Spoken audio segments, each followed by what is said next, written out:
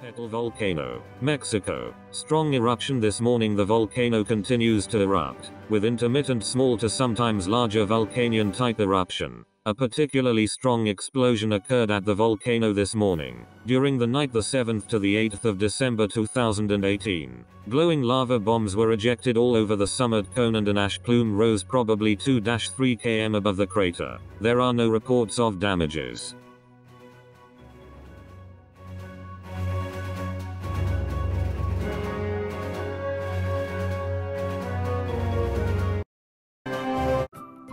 Thank you for watching. Please subscribe to us on YouTube. If you like donate to us visit home on the page PayPal.